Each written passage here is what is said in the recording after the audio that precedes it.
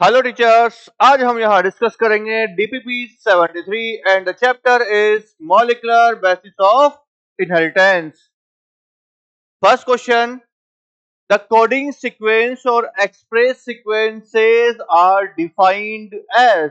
अब यहाँ पूछा हुआ है कि जो कोडिंग सीक्वेंसेस हैं और जो एक्सप्रेस सीक्वेंसेस हैं, उन्हें क्या बोलते हैं?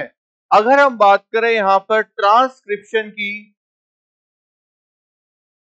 ट्रांसक्रिप्शन की तो ट्रांसक्रिप्शन के अंदर जो primary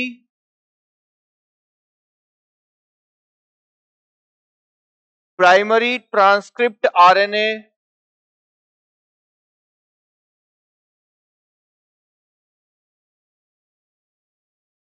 primary transcript RNA जो होता है, इसके अंदर यहाँ पर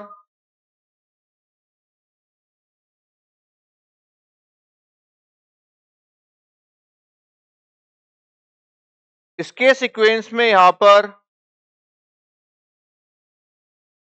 एक्सॉन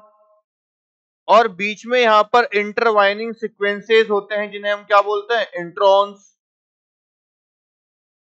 और एक्सॉन जो यहाँ पर एक्सोन्स हैं, यही एक्सोन्स कहलाते हैं कोडिंग सीक्वेंसेस ये एक्सोन्स जो हैं, ये कहलाते हैं कोडिंग सीक्वेंसेस कोडिंग सीक्वेंसेस और इन्हें ही बोलते हैं एक्सप्रेस्ड एक्सप्रेस्ड